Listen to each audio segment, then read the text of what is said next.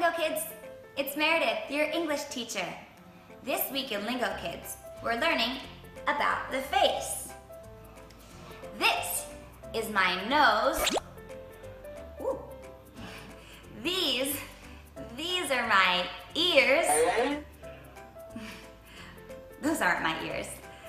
These are my eyes. And this, this is my mouth.